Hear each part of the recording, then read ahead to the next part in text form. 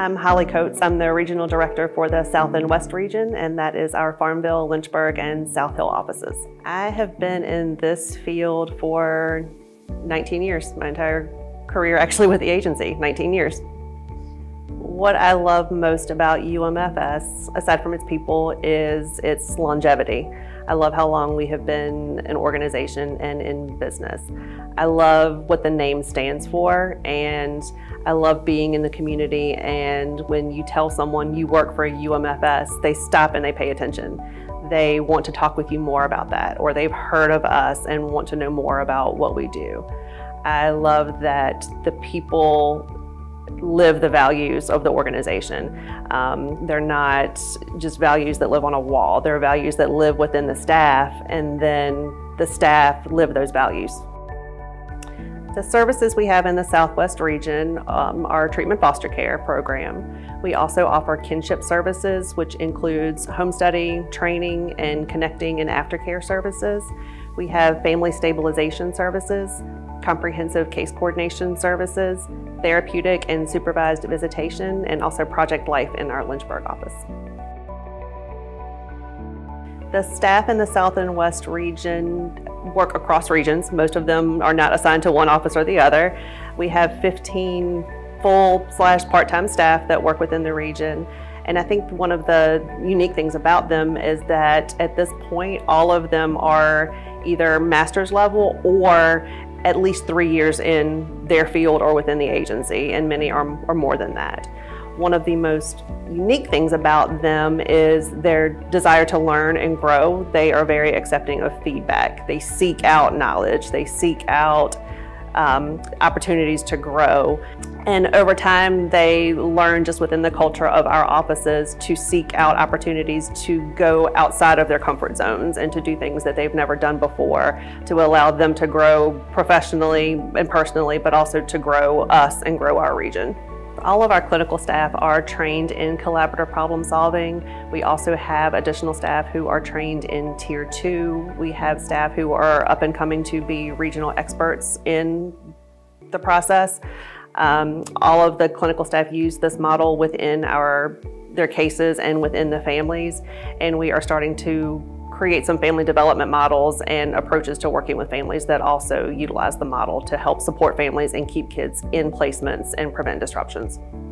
The staff consistently say that the most gratifying piece of their work and the thing that has them coming back every day is seeing the results of what they are doing in what happens with a child. So when they see a child or a family are able to implement the thing that they gave them, or they see a child graduate high school, or show them a, a great report card or an award on a piece of art, or a successful you know, soccer game, just being able to see those kids achieve those daily successes that are often taken for granted is the greatest reward that the staff share with me.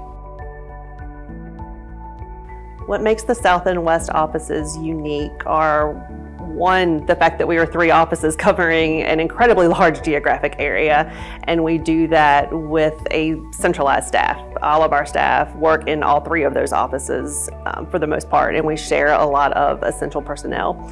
What makes us even more unique is our location and geographic area. We have very limited access and services available to support very high level kids. So our staff have to be incredibly resourceful in meeting extreme needs and meeting needs for services that may be an hour to an hour and a half or two hours away at times.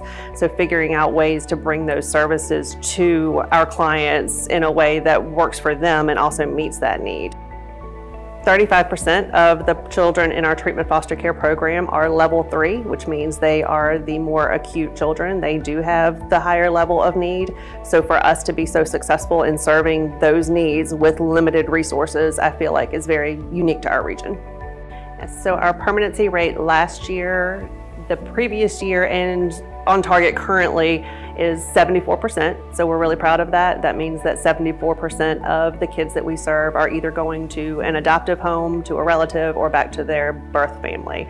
And it also means that our disruption rate is lower because the kids that leave our program are going to a, permanent home and not to another setting or to a higher level of care for the most part. Our foster parent satisfaction rate for the last two years has been at 96%, which is really high considering the level of the work that they do and the stress of the work that they do. So it just means that our staff are doing a tremendous job in supporting our families and making sure that they have what they need. Our child satisfaction rate is also extremely high. The kids are, when we survey them, are very happy with their services. They know their worker, they know how to get in touch with me, and they know how to articulate their needs to their staff. The things that we hear the most from our families are things like you you guys were there when I needed you. I called and you answered the phone. I called and you came. And most importantly, I called and you listened. So many times when the phone rings, there's not necessarily an action needed from a parent. They just need you to listen. So we often hear how much that is valued. And as much as it may take time to spend, you know, 30 or 40 minutes on the phone with a foster parent, ultimately it has the greatest impact because that's what that family needs to get that extra piece of support to be able to help them to help that child. Our customers should choose to work with us for a couple of reasons. One is we are relentless in solving problems, and that's one of our values, relentlessly pursuing solutions. There has not been a problem yet that we have either not solved or given everything that we could to solve it. And that involves a lot of creativity, a lot of thinking outside of the box, a lot of pooling resources. But we don't just give up. Um, we make it work in whatever way possible, and usually we're successful in, you know, putting that together.